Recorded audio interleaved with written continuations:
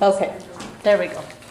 Okay, so we're going to make our pinwheels for our Child Abuse Awareness Month. We are going to color them, this part first. We're gonna, this is your pinwheel part. Then the second step will be to color your flower. Once you have both of these colored, you may raise your hand and I will come around will give you the rest of the parts that you need to make your pinwheel so that it will look like this, okay? But first, I wanted to go over what we just talked about.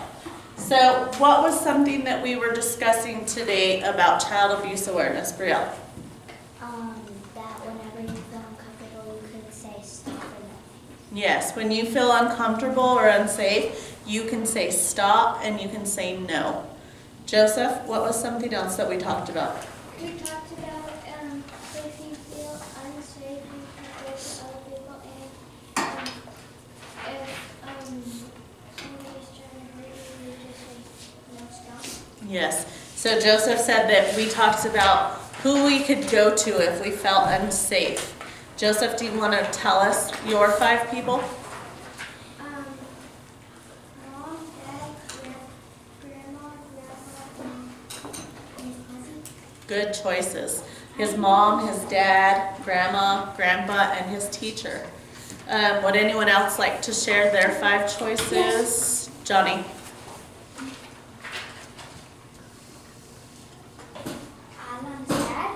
Okay, Pancho, Gabby, Obey, mom. okay. So he chose to put some of his friends' dads that he felt comfortable going to, an uncle, and his mom. Those are all good choices, right?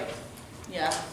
Okay, so I'm gonna ask some of my, I'm gonna pick two people to pass out the pinwheel, and then I'll choose two people to pass out the flowers. So what was our first step, Navambi? What were we gonna do first? We're gonna color our pinwheel, right? Um, Alora, what was the second step? Color our flower. And then when you guys are finished, I will come around and give you the rest of the pieces. You're gonna need a tube like this for the bottom, and that's how we're gonna stick it in the ground. And then you'll also have a little piece back here in the back, it's a little plastic piece, that you're going to fold these. Let me show you guys really quick. So you're going to fold these pinwheels. Once you're done coloring them, we're gonna put them all together like this. So that they're all stuck together. And then the little plastic piece that I give you, there's little holes right here.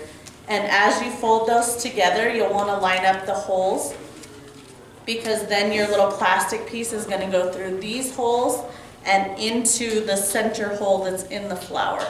Okay, and then there's another little plastic piece that will go in the front to hold it all together.